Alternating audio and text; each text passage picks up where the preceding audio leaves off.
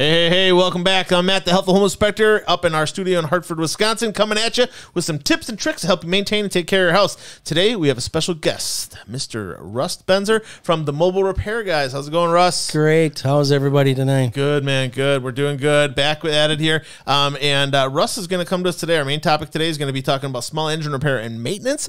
He just got off the job site, so he's still he's still he's A still uh, he's still fresh over there. But uh, you know he, he, he knows how important it is to help you guys better maintain, take care of your homes, and he's uh, got some stuff to talk to you and uh, can help you out a little bit here today.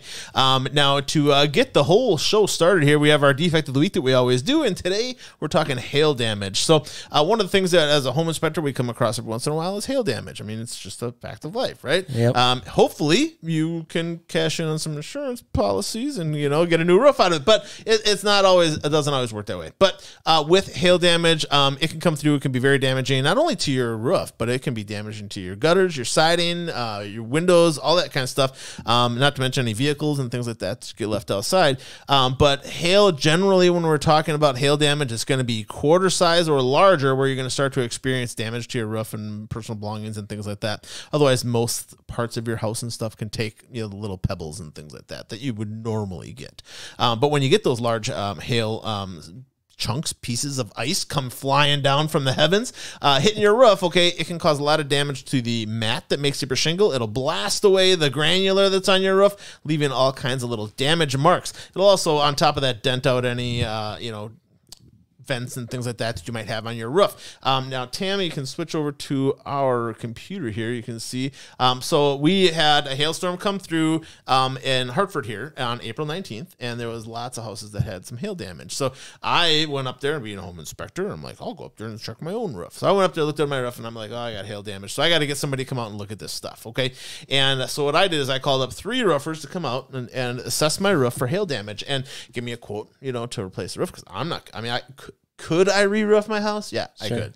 Do I have time or the inclination to do so, or the mm, other No. seven Mexicans that come in and do it for me? No, I don't. Okay, nothing against Mexicans. They're not all Mexicans. That roofers, not all roofers are Mexicans. I don't mean to generalize. It's just that when you get hail damage and the, the you know the chasers come around, it's what you end up with. A lot of uh, a lot of Right. indigenous workers come and uh, uh, do your house. Um, but Tammy will go back to the computer here, and we'll show you what some pictures of some hail damage to look like. So you can see where the hail went in in the middle part here. Right there, okay, and then it blasted away the uh, the granular in this area. Now, our this this quote was from one of our roofers, Ridgetop Exteriors, um, Matt and Nick, what I think was his name, honey, right? Uh, they came out here and they were great. Um, they did a really good job. When they go up onto the roof, they're going to take a basically sidewalk chalk and they're going to mark out all the different hail hail spots and stuff, and they label your roof. You can see this is what the metal vent for my water heater. You can see how it looks like somebody went and hit it with a whole bunch of golf balls and stuff. Okay, um, they use chalk that they put across it to kind of help identify the indentations and things wow. on the metal. But you can see they mark off a 10 foot by 10 foot square. He circles some of the worst damaged spots on the roof. Okay. And that's what it would look like up on your roof. Um, and then there's a valley. You can see how he's got a dent right there in the valley from a, a chunk of ice coming through. This is a really bad one. You can see where the chunk just came down and just destroyed the shingle in that area. Um, and it can hit siding and stuff, cause all kinds of little siding dents and dings and stuff. Um, there's another one right there. And these things are all over the place up on my roof. These are all pictures from my roof. Okay. Now, with three roofers coming in, and they all said you have significant hail damage. You need to replace this roof. You know, Right. there's a lot of damage up there. Um, so then I'm like, okay, I'll call my insurance company, which I've been with for 14 years. Okay. Um, the silver lining, okay? Right. Not going to say their exact name.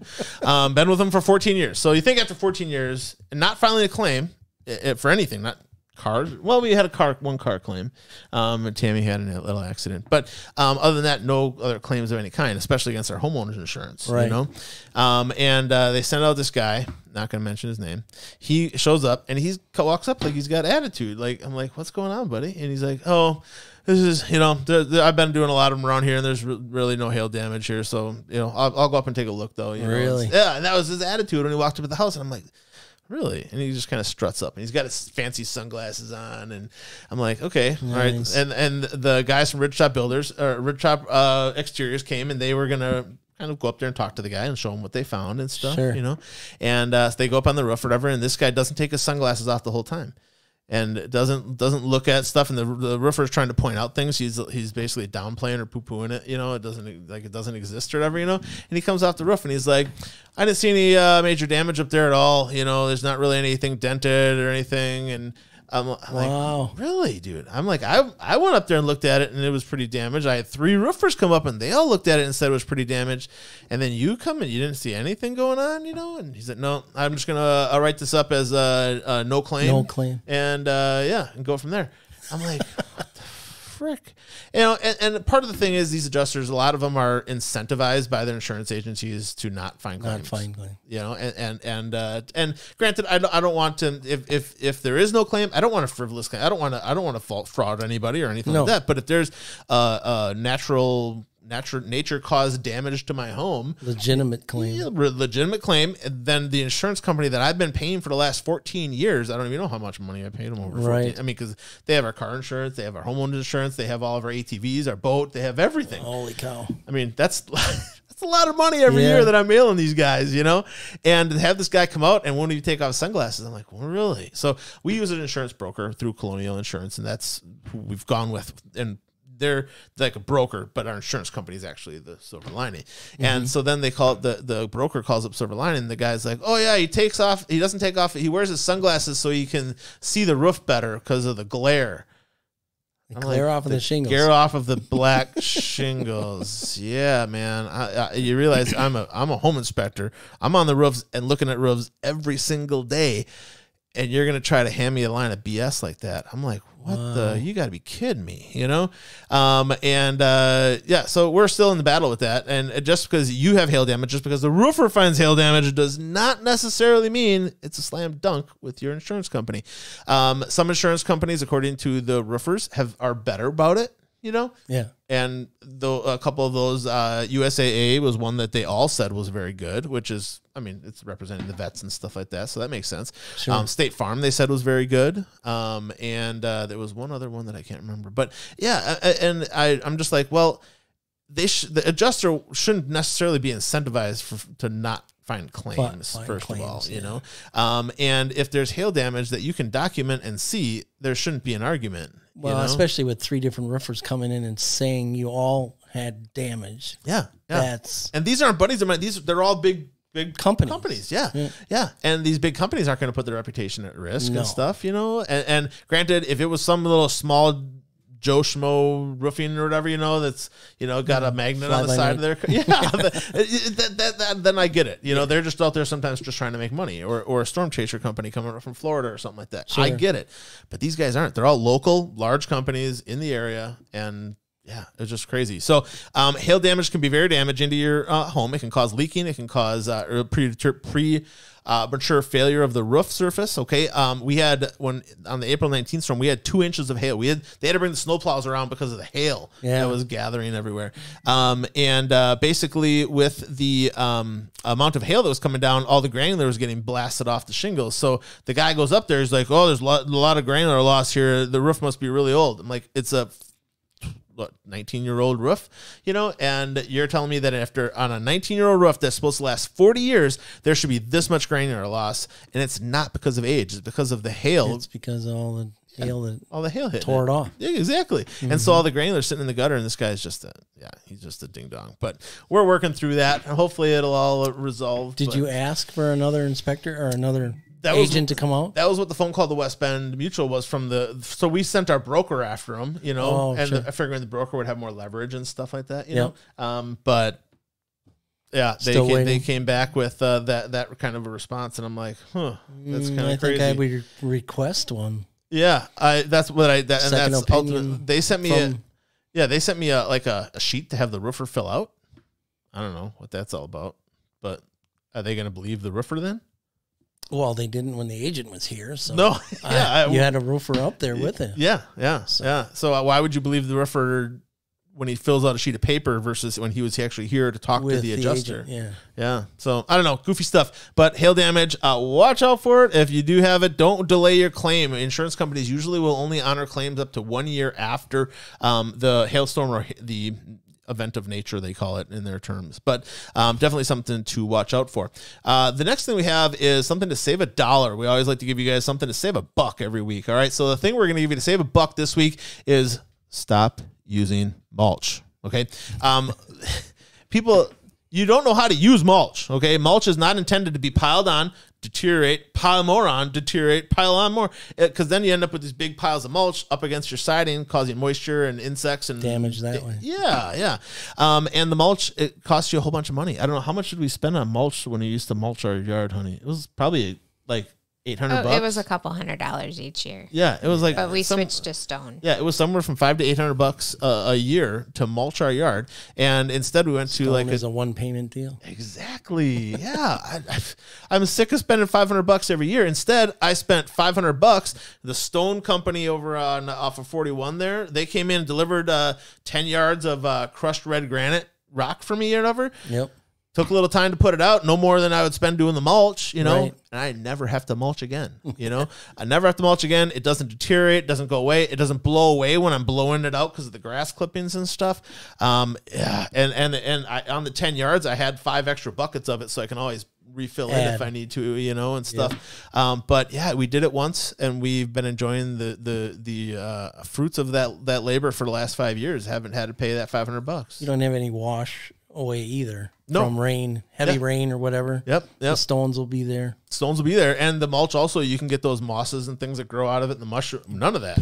Yeah, you could still power wash the stones off. You could power wash. yeah if it does get dirty or something like that. Yeah, for sure for sure. So that is save a buck. Switch out to some decorative stone stop using mulch people. Mulch it deteriorates. It's a i don't know how much money people make on mulch sales every year. Tons. tons. Um but it's because you're just you're misusing it. You're you're you know just causing yourself some issues. So get some decorative stone. It'll last longer perform better for you. And in the long run even if you have to pay a little bit more to do it it'll save you a ton of money every single year okay? So i'm not just saving you a buck. I'm saving you hundreds of bucks okay? So go out and save yourself some money people all right? Um all right so now we're going to get into our main topic of the day. We're talking about um, small engine repair and maintenance uh, with our man Russ Benser from the Mobile Repair Guys. If you want to get a hold of the Mobile Repair Guys, we will flash their number up down below here. We'll also have their number on our website. You can go get a hold of them there. Their website uh, is linked on there as well. You can also email them, call them. I mean, yeah, lots of ways you can get a hold lots of of ways to get a hold of us. Yep. Uh, now, generally, you guys work southeastern Wisconsin. Yep, all southeastern Wisconsin right now. Yep. Um, we're looking to expand. You know, we are so busy with uh, the service work right now and maintenance. Yeah. Um, we're looking to expand and have uh, either employees or the opportunity to purchase and own your own business as a franchisee. Yeah. You guys have been franchising uh, for a while now. We Uh, started franchising in 2012. Yeah. Um, I've got two really good guys right now. One guy in Germantown and Menomonee Falls. what's his name? Give him a shout out. Lee, uh, Lonnie Merchant is his name. Okay. And then I've got Chris Henson, who is taking care of um, like Sussex, Merton, Okauchee, a little bit of Pewaukee area there. Yeah. So, and basically, you're just looking for somebody that's mechanically inclined, Yep. right? And that has a driver's license. Yeah. you got to be able to, license, You got to be yeah. able to drive. They are the mobile repair guys. Yes. So the the basic concept with the mobile repair you guys, you guys is uh, you know that shop that you used to haul your snowblower into in the back of your car with a bungee cord holding the tailgate down. we come to you at no extra charge. Yeah, they come to you. They bring the whole shop to you at no extra charge. And and you're like, how can they do that? Well, okay, they don't have to pay for a shop. They don't have to pay for a lease. They don't have to pay for all that other stuff. Our overhead is is very minimal, um, and we do. We actually come right to your house and do the repairs and uh, minor tune-ups or minor repairs at your house. Yeah, So- and they, I I have been a customer of them. Uh, probably. Did you look me up at all? Uh, I think it was since eight years ago. Eight years ago. I yeah, think so. was the first time I called. Yeah. I saw you. You were uh, filling up over at the BP here, and I saw you, and I talked with you. Then I'm like. I got my snowblower just won't go. What's going on? And she's like, call call Janet up and uh, set up an appointment or whatever, Yep. you know.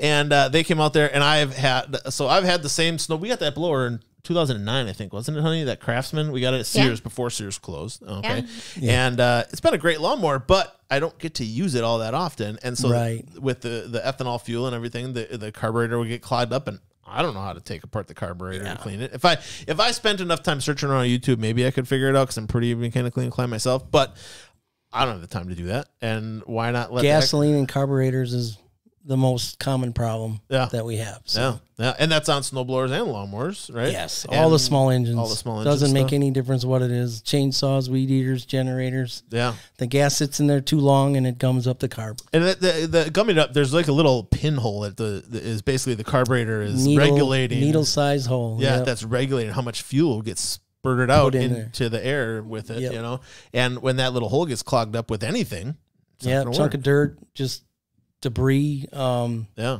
and then the ethanol actually is well, it's corn syrup.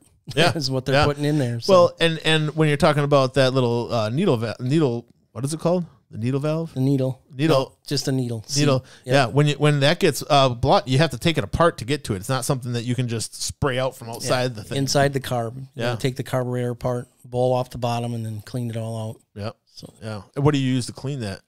Just regular carb cleaner. Carb cleaner. Yeah. yeah, yeah. That gets that cleans up the gunk and junk. And, Yeah, takes Yeah. it all off and, And cleans it up. and that uh, like just works its way into that needle hole, or to clean it out, or how does that get it? Or do you guys have like a tool? No, I've got a small tool that we use to, depending on which carburetor it actually is, yeah, to run up inside there, and then the emulsion tube gets plugged too. So yeah, yeah. we take that apart and clean the fuel just sits in little there. jets and stuff that are little holes that are in there. Sure, sure, Clean sure. it all out.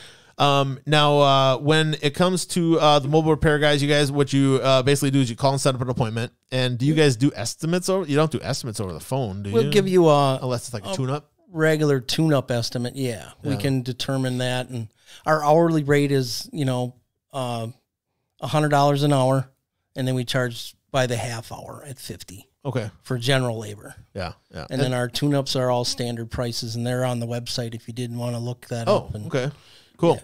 And basically, what they do is when they show up, they'll uh, diagnose the problem, right? Yep. And then you'll come up with a plan to correct the problem. And if it's uh, expensive, you'll run it by the homeowner, probably, yeah, right? yeah, we give them a, an upfront estimate um, of estimated cost Mm-hmm. that it would cost for the repair and parts Yeah. and labor. Yeah, yeah. And the beautiful thing about when you guys came and worked for me is I couldn't be home. Right. So I just set it outside, and you guys showed up, and I showed up. I showed up at home. You you, you even snowblowed part of my driveway for me at the time, and uh, Yeah. and the thing was humming like a like a charm, you know. And Yeah, we we do that quite often where the homeowners are at work or whatever, and uh, they just leave the units outside.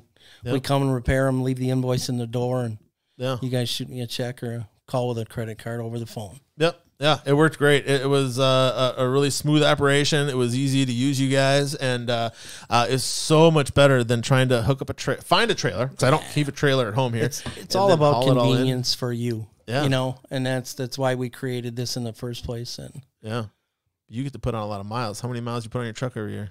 oh gosh, over 50, Yeah, 50,000. that's more than me. I put on about Yeah. f- what forty, honey, ish, forty something. Easily. Yeah. Yeah. So yeah, it uh, is one of those things when you when you work for people and you go to where they need you, you put on miles. It's just Yeah, part of the that's deal. part of the job. Yep, exactly. Um, so uh, as far as um, lawnmower, small engine equipment, they don't they don't make them like they used to, do they? no, no. no, they don't. Uh, they're a lot of them are actually throwaway items per se. Okay. you know um but we can make them run you know for a long longer period of time before you do have to replace them Yeah, and there And you're talking about like job. hedge trimmers, Yeah. string trimmers, that kind Yep. of stuff. Yeah. and there again if you do have problems with those you know we're kind of upfront with you um come to your house and if it's not worth fixing we'll be upfront with you and just tell you to go buy a new one Yeah. Well, what's the By point the of time spending you four hundred dollars pay to, to fix to it? do it yeah, Yeah. to do it and then you know if you're paying a couple hundred bucks to uh buy a new one compared to paying me yeah. you know that similar amount of money to get a carburetor and fix it and yeah. my time. So If you want it fixed, he'll fix it, but Yeah. he'll he'll give you the honest truth though about uh, if it's even worth fixing.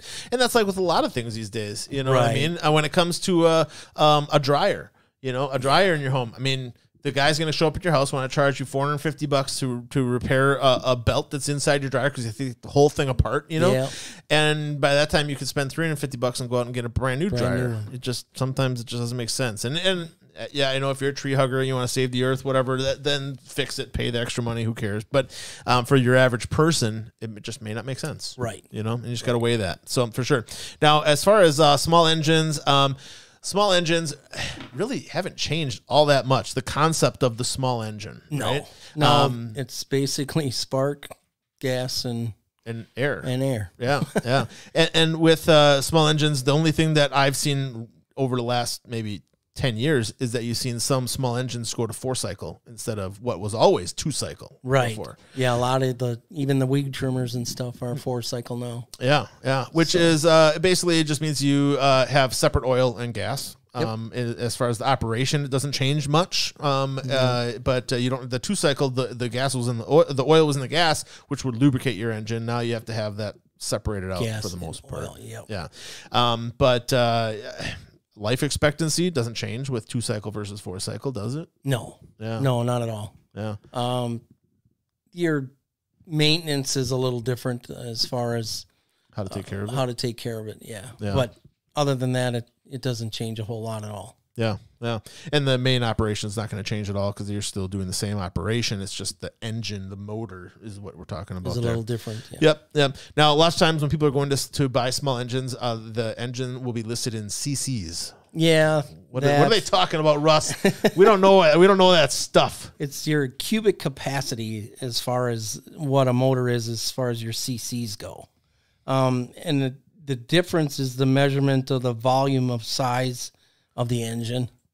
And then your horsepower is the measurement of uh, what how much power that engine's actually going to have. Now, how do CCs and horsepower relate to each other? They're very similar. Uh, like I said, it's just the measurement of that. Okay. Um, your horsepower, like you have a 17 horsepower motor, it's kind of equal to, uh, I believe it's 220 cc's. Okay. So, um, you're, it, it's it's just a different way of labeling that motor. And the amount of power that it can generate. Correct. Okay. Yeah. So if you're going to talk about um, like a, a motorcycle, sometimes are talked about in CCs as stuff as well, right? And so you could also talk about that in a horsepower number as well. Just like um, uh, what, what is something in, in my world that they talk about is uh, energy, you know? So we can talk about in an air conditioner, we can talk about BTUs and we can talk about SEERs.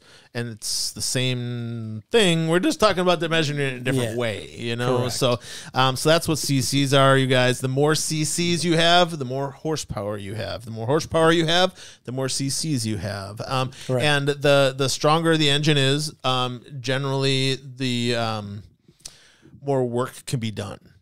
Yeah, Right, it's usually the a larger unit, the higher horsepower that you have or cc's that you have. Yeah. So if your lawnmower is a uh, uh, you know 17 horse motor on it versus a 12 horse motor on it, you're going to be able to go faster. Your blades can spin faster. Um, life expectancy doesn't change. Oh, it might have to might be a little bit easier. To, Uh, It to will be, yeah, right? it'll run a little longer probably, um, just because it's not working as hard as the smaller motor. Yeah, yeah, because the smaller motor, you may have to rev it at higher RPMs to get the same amount of work done as Correct. lower RPMs, but a higher And your wear and tear motor. on the inside of the motor is going to be more. Sure, sure, sure, sure. Okay, cool. Um, now, uh, what makes one small engine better than another in your eyes? Mostly it's just preference. I mean, they're made um, by different companies, but the components inside are pretty much all the same. Yeah. Um, there's not a really a whole lot of difference between the motors. Okay. Um, So if you're going to Fleet Farm and you're looking at three different types types of string trimmers with three different motors on them, yeah, go with the better brand or whether one that has a better reputation. Maybe just if the engine doesn't matter that much. yeah. I mean, I, I, there again, it, it's it's more of a personal preference kind Yeah. of thing. Yeah. Um, if you were going to Fleet Farm, what brand would you buy, Russ? Um, I probably wouldn't buy it from a box store Where would you buy it? at a dealer. At a dealer. Yeah. Okay. I would go to uh, like a True Value or Okay. like to uh, I I used to work at TV trailers Okay. and they sell not a box store brand. Model? It's a little bit Yeah. better quality Sure. Sure. than you would get at a box store. so like uh where would be a I mean a commonplace? I mean Ace, true, uh, like true Ace value? True Value. Yeah. I mean, they they do carry a little bit better um, like they carry units. Stihl and all that kind Stihl. of stuff. Stihl, yeah, Echo. Yeah, yeah. Stihl and Echo are probably the two better ones out there that most people Yeah. have access to. And now some of the box stores are even carrying those too. So. Yeah, Troy-Bilt's a good one too, but you just don't see those as often, right? I mean, I mean they're right along the lines of Toro and stuff, right? Yeah, yeah, they're comparable. Yeah. They're a little bit lower lower end as far as Yeah, than what you're going to get at a box store. Mm-hmm. They have a few. Huska- Different. Husqvarna, where does that fall in there? Um, that's like mid grade. Is that mid grade? Yeah. Okay. Yep. All right. They still sell um those at a box store also. Oh, they But do. the- okay. Yeah, there's a few box stores out there that do have Husqvarnas. Yeah, yeah. Um, so, uh, and if it's a name you've never heard of before, be a little wary. I would say. Yeah, Right? double check, do your homework. Yeah. I mean, that's the best way. Yep. Yep. Look I mean, up, the, the internet what is a doing. beautiful thing. Yeah, you know, and people Very will not hold back if it's bad stuff. You know, Right. Um, you can if if you uh, go out there and look up ratings and reviews and things like that. There's there's like websites out there that all they do is review lawn equipment and stuff. like that. So Yep. you can go out there and find some information about that and uh, get some uh, internet experts uh, to give you some information. But the best way to go about that is if you look over and you get that same information from a number of different sources, it's got more Usually legitimacy. pretty to good, it. Yeah. yeah. If you're just getting it from one blowhard that had one problem, it's kind of hard to you know break that out as a legitimate source. you know? Correct. Yeah. Um, all right. So uh, the next thing we're going to talk about is a little bit about uh, fuel for small engines. So when it comes to fuel for small engines, um, the the biggest change that's happened over the last 15, 20 years is the in, in the installation of ethanol Yes. in our gasoline.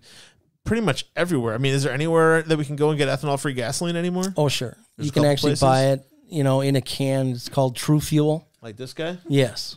So That's This- one of your brands as far as Yep. So this is ethanol free. Yep. It says no ethanol right on it. Um, it's not cheap, No, but it's a little bit more expensive. ethanol free and going to cause less gumming up in your carburetors and things like that, right? Yep. Um, and it actually comes in a mix too. Um, this is just a four cycle, and then you also have a fifty to one, and that's for your two cycle engines. yeah. Now, if a if an engine says it's supposed to run on forty to one and you put in fifty to one, is it going to make a difference? Yeah, you could burn it up. You could really, Mm-hmm. because so fifty to one is thinner on the oil side. Correct. So if it, you went if it said use fifty to one and you put in forty to one, you're Yeah. probably going to be okay. You'll be okay. Yeah. Okay. You should be fine. So if you're gonna buy the uh, the forty to one is like a bluish green can, I think, or Correct. whatever. So Yep. if you don't know which, eh, but yours have a two cycle equipment, buy the forty to one mix, and you're probably gonna be okay. You'll be okay. It'll smoke a little bit more just because Yeah. you have more oil in it. Yep, but- yep. But it'll still run. It'll, It'll still be, be lubricated. Yeah. Where you, if you go the other way, this doesn't have as much oil in it. It may not be lubricating it well enough. And you could Enough. burn up your chainsaw, whatever you're putting it in. and Correct. stuff. So yeah. Um, now, as far as uh, the canned fuels, um, they last longer than gas station fuel. They will. correct. Yep. Um, what's the average life expectancy of gas uh, station fuel? Six months, maybe. No. Not even? No, I would. it actually starts to break down after five to six weeks. So Really? yeah. Okay. Um, if you do have that gas and you don't have oil in it, you could put it in your vehicle, Yeah. and then it'll mix in with your gas in the tank. And your car be engine fine. can handle that. Yeah, Yeah. Your, your car engine will handle it fine. Yep. Otherwise, your small engines really like fresh gas. Fresher the better. Ninety-two percent octane is great. What now? Uh, what when you get into there's there's uh what's the oil company over there in Slinger? They sell race fuel. Like you can go in there and buy a can like this of race fuel. Is that even better? Because it's like ninety whatever ninety six octane or whatever it is or ninety Yeah. Well, I mean, like I said, the the the more oct or the higher the octane, the better for the small engine. The cleaner the fuel is. Then too. Correct. Okay. All right. Cool. Um, and then these cans, you guys, you can buy them just about anywhere. I mean, they have them at the Ace. They have them at the Menards and the Home Depots Box, and everything. yeah, all the box stores have Yep. it. Um, they do have a date on them though, which is that how important is the date on these guys when you go to buy them? Um, it's pretty important. I mean, you should try to use it by that expiration date. I guess is what it is. But, it's still going to last. It'll longer. still it'll still be okay after that expiration date. But you got to use it fairly quickly. Yeah, you don't want to let it sit there forever. Correct. And then if you do buy the uh, the oil mix, it does separate uh, eventually, so you got to shake, Shake it up it a little bit. you Yep, shake it. up, tip it upside down, rock it around. Um, if it's been sitting there for a while, it can uh, kind of separate a little bit. So you want to mix that all up. The main thing to understand with uh, uh, when it says 50 to 1 or 40 to 1 is that that is the mixture of uh, fuel to oil. Um, And that'll be labeled right on the top of the fuel cap whenever whatever whatever small, unit Sure. you have. Yeah, so like if you have a backpack blower, it'll be on the little orange cap that you take off and stuff Right. like that. Sure, yeah. Um, now, as far as um, the uh, the ethanol that's in fuel, um, it, you said it's basically like corn syrup. Pretty much. there, yep, you know, that's what they're Um, doing. and uh, they're trying to keep constantly trying to push to put more and more ethanol into our fuel. Yep. Um, and the corn farmers love that because then they get subsidies and everything Right. else, right? Um, but it's really not good for our small engines. It's not good. I mean, you hear about the snowmobile guys who were probably the loudest. I mean, when they did the ethanol thing, you know, the Yeah. snowmobile guys were the loudest about the whole thing, about how it destroying their machines and stuff. Um, and I guess some people are like, is that really true or is it an old wives' tale? And I think No, it has an element true. of truth to it, you know? Um, can ethanol run through an engine? Yes, but then you need to take extra maintenance steps in cleaning that engine and all that kind of stuff that you wouldn't have had to do had you not had ethanol in it. Right. right? Yep. So when it comes to uh, E85, I I mean, other than your car, I don't think that's anything you should mess No. with. Yeah. Try not to use that at all. Yeah. When you go to uh, the E85, most of the gas stations like Kwik Trip and stuff have the E85 and stuff. Yep. But that's only for such a few vehicles out there, you know, um, that actually Yeah, just a use that. handful. Yeah. Um, but And for your can- small engines, please. yeah, avoid it. Avoid it's a, it, it's a yeah. dollar cheaper, okay? And and Yeah. I I live with a cheapskate, okay? so I know how that goes. But saving a dollar on that fuel could cost you hundreds of dollars in repairs. Go ahead. Nothing. I was just gonna say, hey, hey, hey, stop the digs. All right, honey, I can go buy some hamburger buns. Um, but with the sorry, she's giving me an eye over there. I won't tell the story. I promise. Okay, so what's E85 fuel used for? E85 fuel is only for a couple of uh, uh, cars or vehicles out there. It Just should never, vehicle. yeah, never use it in a small engine. Never put it in your string trimmer. Never put it in your uh, lawnmower. None of that.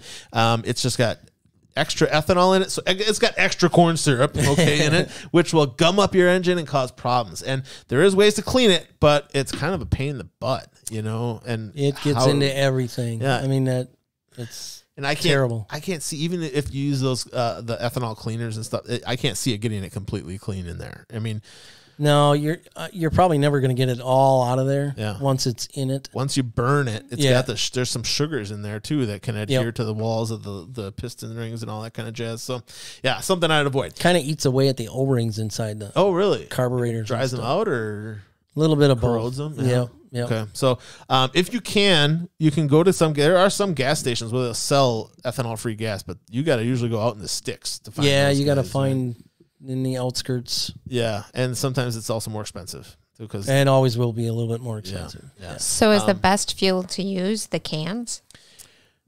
Yeah, but I mean that's really expensive compared to your regular fuels. Um, just try to get your premium gas.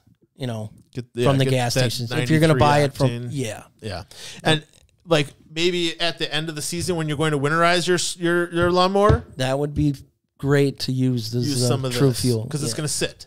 Right? Yep, Yeah. yep. it's going to sit.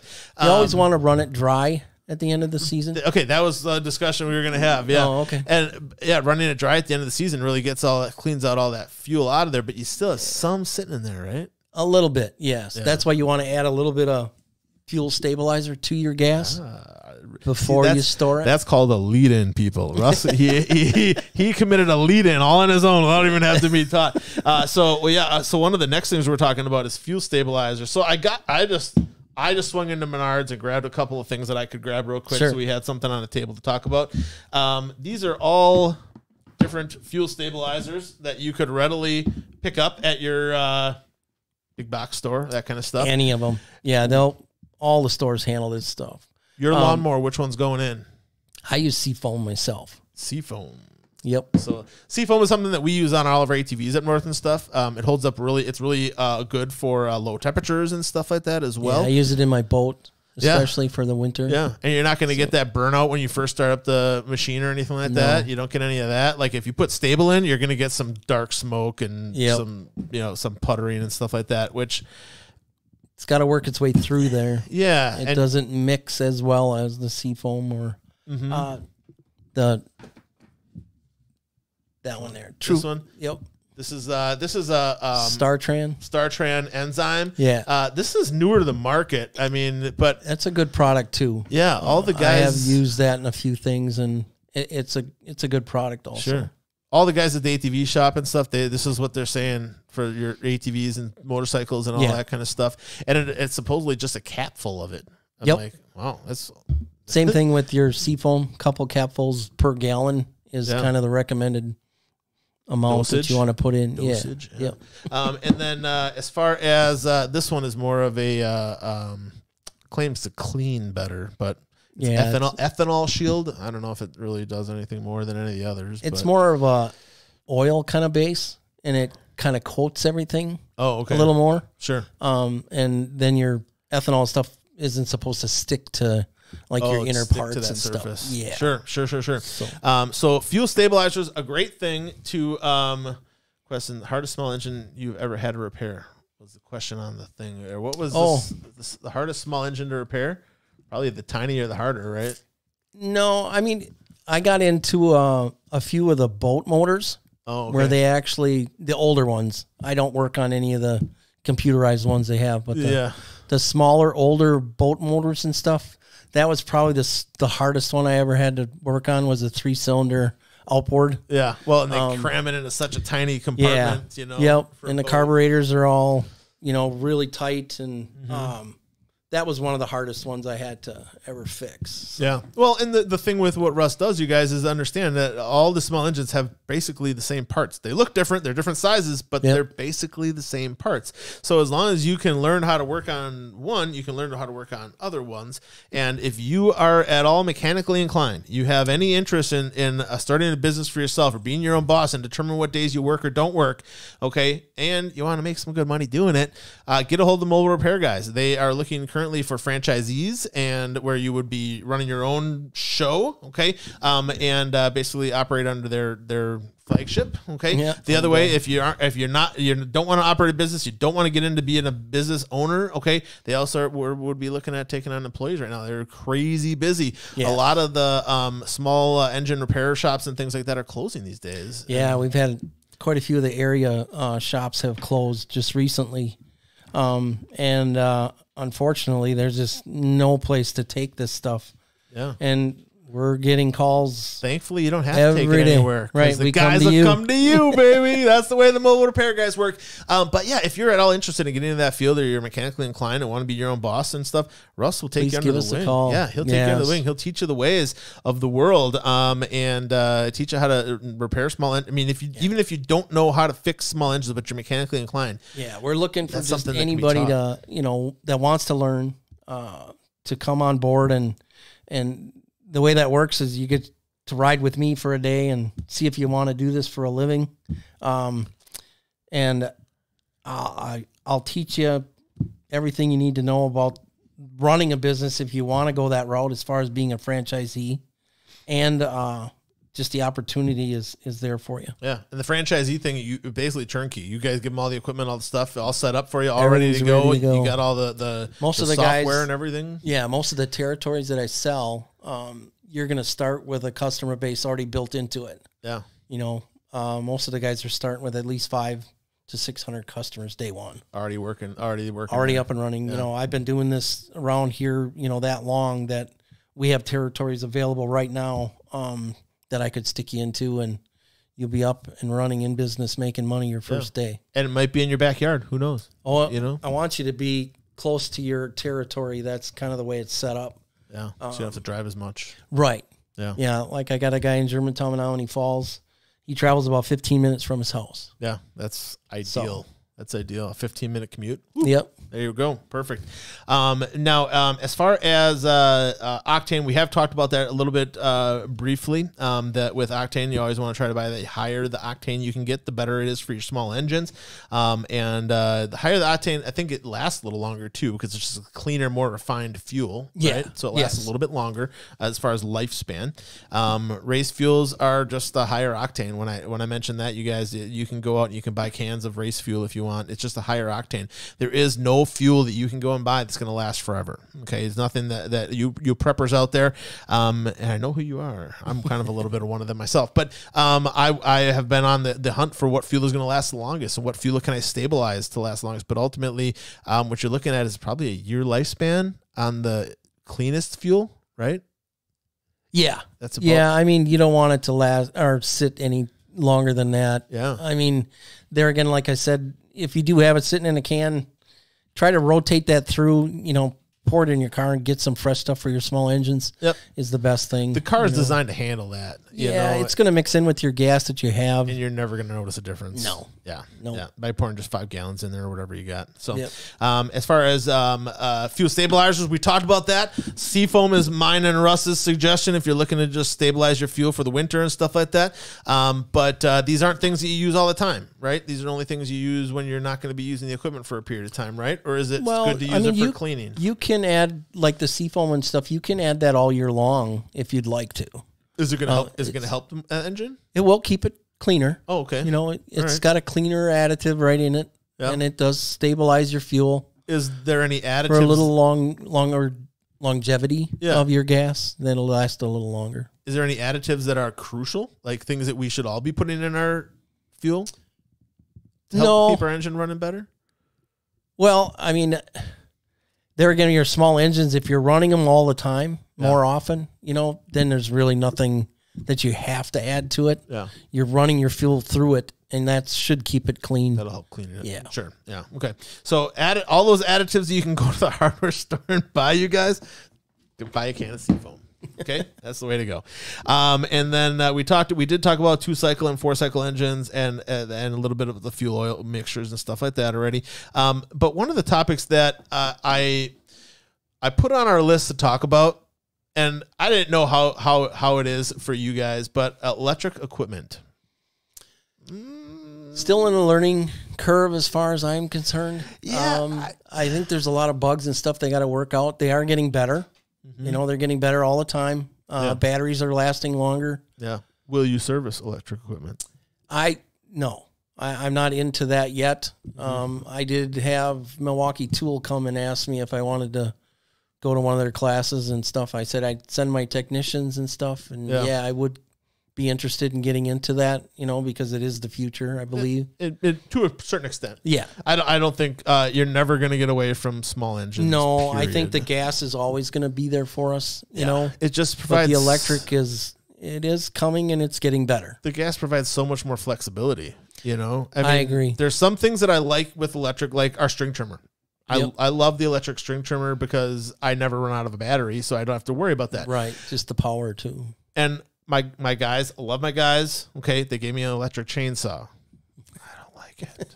um, the problem with the electric chainsaw is it goes burns through a battery so fast. When I have a fuel, uh, uh, uh, my when I have my Echo out there or, or my Stihl, I can just fill it up or whatever and keep going. But when the batteries, I mean, how many times did we have to run back to the barn when we're doing logs, Tammy, just to swap these batteries? Yeah, I got my exercise that Oh uh, my afternoon. gosh. I mean, and it cuts nice, but it, the battery issue is just Yeah. and, and the only way you, you fix that is by getting a bigger, heavier battery, which the thing already is heavier than a uh, gas powered chainsaw, anyways. Right.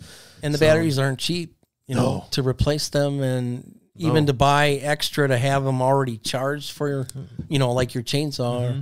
Yeah. Um, you got to have four or five of them to Yep. run a whole day. Well, and the batteries go bad eventually. Right? Eventually they Yeah. will. And they so- do lose, lose their longevity too, Their you know, after to- a while. Yeah, it's like their storage ability gets Yeah. lower and lower as it goes on. But like some of the new equipment they're coming out with, like a zero, like Ego, I think they have a zero turn uh, mower that's battery operated now. Yeah. but the battery's like sealed in the thing, you know, and I don't know. That just sounds like a a No. lot of money for something that ain't gonna last forever, you know. Yeah, I, it, it's just costly to uh, buy new batteries and stuff, those cells and stuff that they're saying that they Mm-hmm. they're going to be able to, you know, just recharge them and replace them. Yeah. They they're still it's it's a big learning curve yet. Yeah. I believe. And you guys, So- as far as the service side of things, there's not a lot of service out there for those things either. You guys, Russ is not No. that he's not behind the times on things. Okay, it's just that the electric equipment, there's so many different variations of it, and everyone is making their own thing.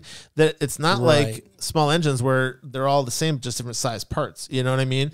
Um, so there's just uh, you don't have the support, you don't have the service uh, uh, ability of it. Yeah, you could maybe send something to Ego, but Well, there's not a lot of techs out there. There's not Yeah. a lot of places you could take it and, and get it fixed. Yeah, incredibly expensive. And if you're even if all you do is look at the battery, the battery on, on a large battery system like that, maybe five years, six years, if that. He's like, I don't know about that. I can't even give you a date. Yeah, uh, you know, I- time frame. It's tough, but you know what? My John Deere that I got out there been running for 16 years and still cuts like a champ. You Still know, going. Yeah, or even that uh, that Craftsman snowblower that I got. You know, I mean, Yeah. That thing i'm probably you can pass that down to my kids. They're going to pass it on to their kids Sure. because i take care of it and then i also have russ come out and take care of it for me once in a while too. But you know what? Those those uh, gas powered engines like that they're gonna they can last a really really Forever. really long time especially if you take care of if you take care of it. Yeah. yep. Yep. If you take care of it. And uh, you know when we get around to uh, um, winter time you guys maybe we'll have russ back and we'll kind of go over you know how to you know do some simple maintenance you know and, Sure. and stuff like that but Love to come back. yeah. Now, um, as far as uh, that uh, um, electrical equipment, if you have any questions and uh, concerns or anything like that, I have done a lot of research about that, and I do have some electrical equipment myself, but it's not uh, like I, I'm looking at electric string trimmer. I do have the electric chainsaw. Not a huge fan of that. Um, I have uh, a uh, electric. Um, Tree lopper, you know, like the Milwaukee Oh, chainsaw the thing on the end, yeah, and Chainsaw pole. and that's fine. That's fine too. You know what I mean? That works. That works fine. But you're, again, you're not using a lot of battery juice to operate that thing. You know, for because you're only cutting through little branches and stuff. Right. Um, but when you come to uh, operating a chainsaw, cutting through big logs, I would cut through maybe get 12, 15, 12 to 15 cuts out of the thing, and then Battery's dead. battery's dead, and I'm stuck. You know, and, running Tammy, for I need a another new one." battery. the other ones are still charging. Yeah. you know, I'm like, okay, bring me a Diet gotta- Coke, whatever. Gotta wait 15 minutes. Yeah, exactly, or more. Some of those Yeah. big batteries take a long time to charge. You Yeah. know, so uh, the next thing we have is uh, when it comes to summer coming. One of the things that we need to put away for the summer is our snowblower. And Yep. what can we do to put away our snowblower properly to make sure that it comes out of summer and is ready for use in winter without a lot of headaches? There again, we'll go back to the uh, fuel stabilizer. Um, try to run it um, completely out of fuel if you can. You you're not going to get it all out of there. So do we put the fuel your- stabilizer in and then your- run it? Yes. Okay. Add your stabilizer first, and then run it as far down as you possibly can. Okay. So And don't. that'll go through the carburetor and lube that up and stuff. And so the gas that they have in their snowblower has been sitting there for a little while. right. right? So just run the whole tank out. Well, if you can siphon out most of it, and Okay. then add your fuel stabilizer to whatever's left in the, the bottom of the tank, Okay. and then run it until it dies, or run most of it out. Okay. That's the best way to store it for the. So a couple capfuls in the fuel. Yep. Run it till it dry till it's dry. It's gonna sit on your front yard and putter, putter, putter at the end. Um, and then uh, when it when it uh, dies, should you try to start it again to get all of it out, or No, no. Once it dies, you'll be fine. And then if there is a fuel shutoff valve on the tank, yeah, I would turn that off and then let it idle until it dies. The last couple of, of runs or whatever. sure, yeah, and then that'll burn the gas or most of the gas that's in the carburetor out. okay. That empties out then- the bowl. that's correct. in there. Okay. Then when you add fuel in the fall to start your snowblower, you're adding fresh fuel. You open up that valve, and then you got fresh gas going to your carburetor. Okay. So after you run it dry, you don't need to put anything in the tank No, because you already did with because you ran the stabilizer. through. Yes. Okay. Yep. All right. And then when the summer when the when the uh, uh, uh, summer's over, time to get ready for winter here. You know, um, get some probably start with some canned fuel. Wouldn't be a bad thing that would be a good thing. to yeah. clean it a little bit. Or the And- higher octane is the better. Yeah, and then when you go to start it for the first time, little seafoam Little in there. seafoam, sure. Yeah, little seafoam in there to help clean that all out from anything that's been sitting in there and getting grungy over the last three, four, five months, whatever months, it is. Yeah, um, and uh, and that's the way to go. So, uh, so to so to summarize this, to put away your snowblower for the year, okay. Um, put a little fuel stabilizer in. Well, get rid of a little bit of the gas if you have it topped off. If you can siphon any out. If you can't siphon it out, that's fine. Then just put a little bit more of this in there because this is this is based on one cap per gallon of fuel. So if you ha- if your your snowblower has maybe at the most a gallon and a half in it, right? Two gallon tank on there. Oh, not One even gallon? that much. One gallon tank. Yeah. So just put one cap in, one or two caps in, run that till it runs dry. Right when it's getting down to where it's starting to putter a little bit, you know, turn off the fuel uh, from the fuel tank if you can. Yep. Let it keep running dry till there's nothing else left in there, and uh, and It'll then- actually shut off. and it'll sh- yeah it'll turn off all on its own. Yep. Yep. Um, and then uh, one uh, should they lubricate anything? Oh, grease and lube everything Grease before you put it away. Before you put it away. Yeah. Okay. So anywhere there's a grease zerk, you Yep. want to grease. And then I actually use like a silicone spray Okay. um, for lubing the auger system and everything to shoot. Sure. Where all the joints are, Where all- the moving pieces. Yeah, and wherever you have a little rust spot, maybe yeah. just soak that down with some uh, silicone. Yep. Now, uh, sometimes people fog. Is fogging a thing? Yep, you can fog your take your spark plug out and then fog the cylinder. And that's just a spray. That's just a spray. Yeah. Yep. So your spark plug, you guys, you can take that out, spray a little uh, fogger in there. Seafoam, I think, makes us fogger, don't they? Yes, they do. Yeah. So you can get the seafoam fogger, just spray it right in there. Do you have to uh, run it at all then, or just, Just pull it over a couple times. Okay, so just pull the handle a couple times Yep. to get a couple of rotations, And then the cylinder will go up and down a couple times. That'll lube everything inside the cylinder. Sure. So then there's even if there even if some water or something like that does get in there, it's not going to start corroding. anything. Correct. Okay. Cool. Um, and then as far as storage, just put a sheet over it and call it a day. Yep. Put it away in the shed it or away and- yeah. Wherever you store it. Um, I like to mention if you do have a storage shed that's actually outside, you might want to put a couple of dryer sheets or something on the tires and stuff just to keep the mice out Oh, okay. of sure. the cavity. That you know they'll crawl up inside the motor and stuff. And uh, Find a spot. yeah, they'll Yeah. build a nest in there. And we've run into that quite a bit where they Sure. My, find a little, make their my- little home right in the. my mother-in-law, she used to have the mice get up underneath the car and they'd they'd Oh, fill it up yeah. because they'd go to Arizona and they'd come back and there mouse nests in the Yeah. car in in the the muffler and all that kind of stuff and the car wouldn't run right. you What they do is they they love the uh, like the spark plug wires. Mm-hmm. I think they're actually made out of a little peanut butter, oh and they they, eat they it sit up. and chew that up, Oh, and yeah, then no. you got problems. That's in, like air, in con- fall. air conditioner wires and stuff too. Yep, Yeah, yep. yeah. Um, and then uh, I guess so. That is uh, winterizing your snowblower. Uh, as far as uh, the difference between homeowner maintenance and professional maintenance, Um, I mean, I guess if, if you know what you're doing, that there's not a whole lot of difference between me coming out. I I, I do go through uh, everything and and tighten bolts and stuff that you probably wouldn't think to uh, tighten- normally do. might not even be able to access in most cases without taking it apart. Some of them, yeah. I mean, the belly pan on the bottom of the snowblower and stuff, we take that all off and lubricate everything inside there, the gearbox and the shafts and everything. So, Sure. I mean, we do a thorough tune up when we do come out. Yep. So, And how often should somebody be getting their equipment tuned up?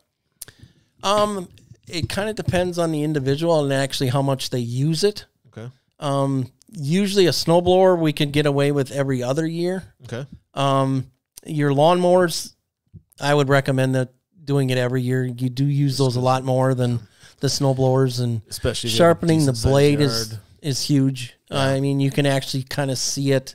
It'll actually start to tear the grass instead of Mm-hmm. shred it. actually cut it. Yeah, it, like split ends on your hair. Yeah. So, Yeah. I mean, you can actually see it when the blade is getting dull. And that's not even not good for your grass either. No. You know. So no, it doesn't help yeah. the grass grow or get all kinds like of uh, you know um, diseases and things like that. In Correct. Your yard. Yeah.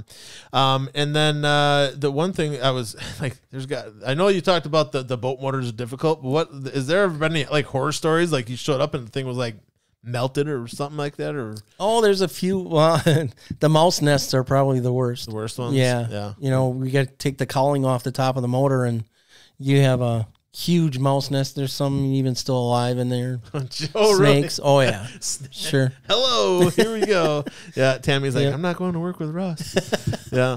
But uh, yeah, so and then uh, as far as um, contacting you for repairs, we're gonna put your uh, the number up on the bottom of the screen here. You can also go to the helpfulhomeinspector.com and you can get uh, their information to contact them via email or by phone. Um, uh, his wife is Janet. She's the uh, the wonderful, lovely voice on the other side of the phone, and she'd be happy to help you out. Um, either the- Russ will help you out, or they'll refer you to one of their franchises, depending on where you live and stuff. Um, again, if you're looking to get into a franchise and you'd like to do some mobile repair stuff, there's some cash to be made. Yes, Um, there is. and it's uh basically a recession free um, Oh, yeah. business. So Yeah. there there's never going to be a time where people stop cutting their grass or stop shoveling their driveway.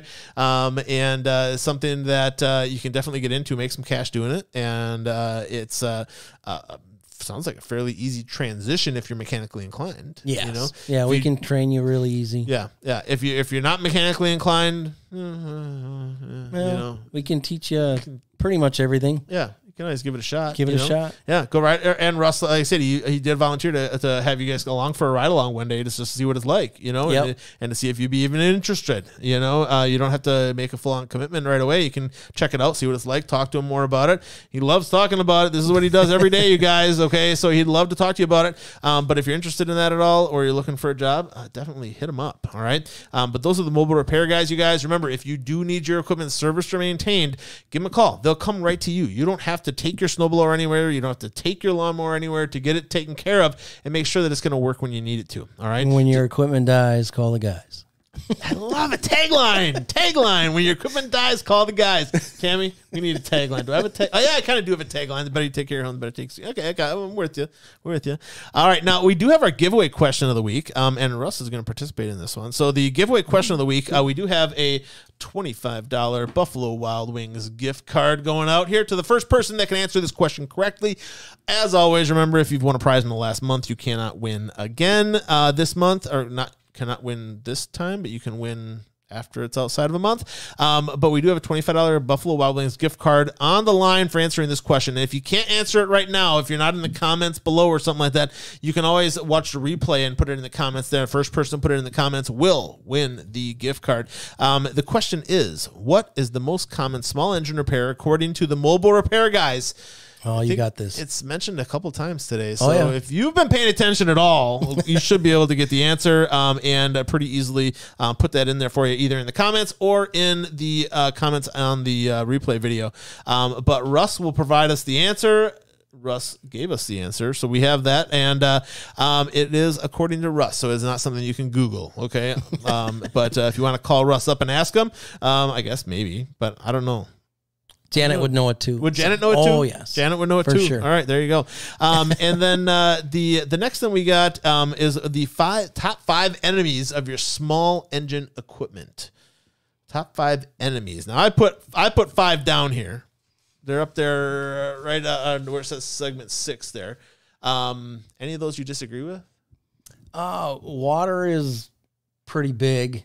Um, Water basically leading to corrosion, right? yeah, and stuff. and there, there again, it's actually could get into your uh, fuel tank too. Mhm. So and cause rusting because a lot of the older fuel tank, well, even all the newer ones are a lot of plastic, right? But- yeah, but your water is actually heavier than fuel, Oh, okay. so that will actually drain down to your carburetor. Oh, and get in there and mess things up. too. Well, not only that, but your initial suction is going to be water instead of fuel yeah, when you first try to start your mower or lawnmower Yeah. or snowblower. yeah. So you're actually sucking water into your by your spark plug and it, it won't fire. It won't fire. Yeah, F- water not flammable. water not flammable. Uh, we also had uh, poor lubrication. Yep, that's Pretty a huge common. one. Yeah. right. So grease and lube, po- folks, it's not that hard. Uh, a grease No. gun is maybe what fifteen bucks at Harbor Freight. yeah, Yeah, I mean very not cheap, not very expensive. easy to use, Easy to use. Yep. The oil. Uh, use lubricated. Yeah, whatever kind of oil you want to lubricate uh, joints, like in the snowblower, all that where all the auger and all that kind of. There's a lot of little parts that move around in there. If you can keep a little oil on them, not only is it going to stop water from getting in there and causing corrosion and stuff, but it's going to help those parts flow smoother, Yeah. not get jammed stuck, and not get Grease buildup. Yeah, yeah. Oh, fill up. Are the- friendly. Yeah, Yep. yeah, very mu- very friendly. And then when you're filling up with grease, a lot of times people don't know how to use it. They're like, Yeah. how many pumps do I give it? You give it enough pumps until you see a little bit of grease squirting out where it's supposed to. Just a tiny bit coming out your on the ends of whatever you're Grease. filling. Yeah. Yep. Yeah, whether it's an axle or uh, shaft or Yep. whatever. Yeah. Correct. Um, but uh, yeah, uh, find those greasers. They look like little, uh, uh, little nipples. Just okay, a with button, a little, little yeah, hole, button little with a hole on the end of it. Tammy will put a picture of a grease zerk on the screen for you in the replay here. Um, but yeah, you just stick the the uh, grease gun on there. Make sure you seat it nice and tight, and then you give it a couple of pumps. And uh, usually, a couple of pumps is all you should need. If you need more than a couple of pumps, you've been neglecting. really dry, Yeah, then it's really dry. You want to uh, give it a couple of pumps. You should see a little bit of grease squirt out. The not a lot, not a big glump, but just like a little bit should come out. Um, they do sell electric grease, grease guns, and unless you grease a lot, I wouldn't get an electric grease gun because it's going to be overused. They, you just hold that trigger down and you're going nuts. I have a tractor up north, so I use I use. I there's a lot of grease zerks on a John Deere tractor, obviously. So I have an electric one just. Out of that, yeah. convenience. Plus, some of them are in weird spots, you know. And Yeah, get your rubber hose one. yeah, it's Flexible a, it's a little and- longer. Mine's like the one, the electric one's like got like a five foot hose on it or whatever, you know, so I can just set it on the ground and get into places and stuff. Yeah. And then I put one of those uh, auto locking uh, tips Oh, on it. so tips you- on it. Yeah, so I don't have to worry pop about it. off It won't pop off when I'm pressurizing it, you know, and Yep. stuff. Um, neglected maintenance. Is that a big one? Huge, actually. Yeah, yeah. Your air filter on your lawnmowers, you can actually take that out once in a in a while. You know, during the season, Yeah. just blow it out. Just blow it out. Yeah, Okay. It's- I've heard of guys wash them out with gas. Like they put a little gas in a bowl and you can, um, but uh, air is plenty. Actually, yeah. there's a pre-filter on the outside of your regular air filter on some of them. Okay. You know, taking that one you could probably soak in gas. You know, Yeah. But there again, sometimes that'll expand and then it just kind of ruins it. Sure. Sure. So air is probably your best bet. Yeah. Just blowing those out. And, and the air filter very Keeping it easy to clean. access, right? It's just a Oh, little yeah. plastic housing on the outside of the motor, and you Yep. usually just gotta take off. Sometimes even just a Couple little butter, nuts. butterfly nut. Sometimes you take it off, and usually and it's just a butterfly nut. Yeah, right there, and it's easy to take off. Um, it's uh, not something to i- if you take that if you your your machine's not running and you take that off and you take the the, the filter off and it's now starts running, something's wrong with your mower or your engine. It's not. That's how you're supposed to operate it. So that, that, at that point, call Russ. All right. Um, and then uh, fuel issues. Uh, that's my biggest thing with the snowblower, you know, because it just sits and that ethanol, it just Yeah, storage is kind of your biggest thing with that. Again, you know, storing it the right way for the summer. Yeah, we since the last time you guys came, I switched over to the can fuel Yep. and the seafoam, and I haven't had an issue. Yeah, and so that's been really good. Very and good. um, yeah, but uh, you know, having some regular maintenance done, getting a tune-up done once in a while, just to make sure things are staying tight. Because like Russ said, they go and they tighten everything up and make sure things are going to stay together for you. Yeah. The last thing you want to do is when that uh, you know 18-inch snowfall comes and your snowblower conks on you. Guess who's busy? And guess Yeah. who's booked out a ways and not going to be able to get to you right away. Uh, let's see, most common gasoline carburetors. Kelsey Martin won the gasoline carburetors. Um, She wins the twenty-five dollar gift card. Congratulations. Congratulations, Kelsey! Way to go! Yeah, carburetors by far the most common issue. Yes. You know, Yes, Um, yeah, by far. and primarily related to ethanol fuel. Correct. Yeah, yeah. Uh, the uh, the next thing im- uh, that I had improper operation. Oh, like somebody- usually not too You know? much. I mean, there's Like user error. no. well, I'm sure there's some, but so what would you say should be number five? I would actually s- go back to the stressing that maintenance. Then neglect. Yep, Yeah. neglect of just general maintenance on Yeah. it. Yeah, uh, you know, if engines, uh, uh, whether they're uh, fuel or um, you know electric, all that equipment requires maintenance. You know, Yes. even if you just are, are operating off a battery, you still have to maintain that equipment. It's still got spinning blades and other parts that move around and stuff that need to be. The old saying is "pay me now or pay me later." Yeah, yeah, You know, exactly. and sometimes pay me later costs a lot more. Than Right. Pay me well, now. you're probably buying a new unit by then. Yeah. So yeah. Could it be improper storage? Because if you don't prep it and store it, then it won't work the following season. that that's part of it with the the snow blowers, especially. You know, your lawnmowers and stuff. They're you usually could- a bigger engine, Yeah. so Yeah. they can handle. But your more. push mowers and stuff, there again, your storage for the winter um, is kind of the same process as you would for your snowblower. Mhm. You know, run it dry on fuel, add your stabilizer right at the end, Yeah, um, run it a little bit, and then pour a couple capfuls in at the end and yeah. lubricate that. You could fog your cylinder Yep. You know, Yeah, that do that help, too. general maintenance. Yeah, and really not that expensive to do those things. No, not but, at all. But man, does it save you the bills later on? You know, Tons of money later If on. if you don't take care of that equipment and you put it away, and there's moisture in the fuel or whatever, you know, you're causing problems inside your engine that are in some cases unrepairable. One thing I'll suggest, I mean, as far as your lawnmower goes, is um, the deck itself. If you can get underneath there and scrape that dead grass off, old grass, you know, if you cut when it's a little damp outside, um, your blades are going to be spinning a lot easier if you get some of that grass and stuff off the bottom of the deck. Yeah. Take your push mower and always tip it to the oil fuel, uh, oil side, drain tube side. Okay. You can tip that up and then scrape Which the bottom of the deck Is off. usually the non-shoot side, right? It changes? Depends on which Depends on unit the you brand. have. Okay, Yep. yeah. Yep. But Um, always the oil filler tube side or the oil drain side, Yep. you want to tip that towards the ground. And then you, because if you tip it the other way, then the oil's actually going to run into the filter box. Oh, okay. You don't want So that. you don't want that. Yeah. So, um, yeah, just a couple of great tips, you guys, to help you maintain and take care of your small engine equipment. Um, Russ Benser from the uh, Mobile Repair Guys would love to help you guys out if you do need some maintenance and stuff. Um, now, the next thing we have is our tip of the week. Tip of the week. Do, do, do, do. Um, yeah, call me. Some of the most smart asses out there. Um, but uh, the tip of the week today um, is going to be clean or replace your air conditioner drain pan um, hose. So lots of times I go into homes and I find uh, uh, furnaces that have uh, all kinds of rusting and water damage and stuff because the um, drain pan underneath your air conditioner in your basement gets clogged up and it overflows and causes all kinds of damage to your furnace. And it- Yep. I mean, a furnace, you guys, is not meant to be submerged or have water on it. So if you're running water down the side of it because this pan is overflowing, you're going to cause damage to your furnace pretty quickly. And a replacement furnace, eight thousand, six to eight thousand bucks these days. You know, it's expensive, um, and uh, it can be very preventable. So coming out of your furnace, there's going to be a, a hose or a tube. So most of the time, it's going to be a clear hose of some kind going down and going leading to the floor drain.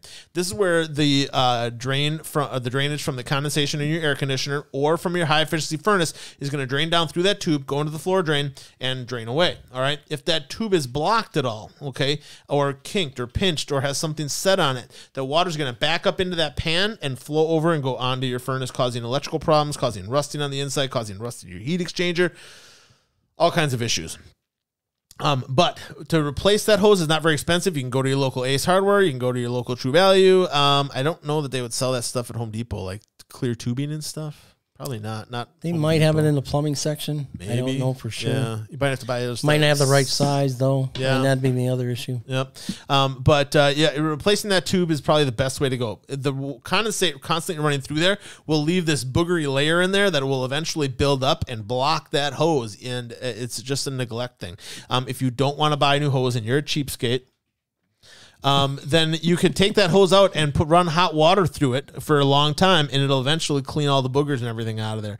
Um, but when you do that, you also have to clean the nozzle or the tip that's coming out of the drain pan. Um, otherwise, that can build up as well. Um, some of them do have CPVC or PVC as their drain tubes. Those again, you can clean with hot water. Okay, you just got to run a bunch of hot water through there.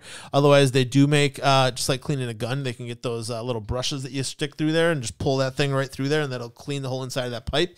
Um, that would be an option as well. But either way, you got to get it clean. If you don't get it clean, it's going to cause a backup and cause damage to your furnace and premature failure. And you know that's never a good thing, especially here in Wisconsin where we could have polar vortex tomorrow. I mean, you never know, you know. So who knows? Um, but that is your tip of the week, folks. Now next week um, we have uh, Team Smith coming in. Uh, Mark is going to come in here. We're going to talk about the home selling listing process, um, what you have to go through to list or sell your home. By the way, a great time to list your home. Um, I don't know how long the market's going to hold out for at these high uh, prices and stuff, um, but it is hot right now. People cannot keep uh, a house on the market for very long. Yeah.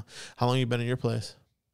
Oh, um, going on eleven years. 11 years. Yeah. Yeah. Um, and uh, the part of the thing with uh, listing these days, you guys are going to get more for that house than you probably ever will um, in, in the probably the next five to 10 years at this time. Um, things are going to adjust and it's just a matter of time. But uh, Mark Smith and from the Smith team are going to come in here. They're going to talk about the home selling listing process with us. They're going to give us a brief market update. So, where's the, the housing market at right now as we see it today? Um, we're also going to talk about the top three defects that destroy home sales. So, what what what can be found in your home that's going to blow up your home sale. We're going to give you the top three. All right. Um, and we're also going to give you some good reasons to declutter your home, not just for your listing, but also just for living life, people, just for living life. All right.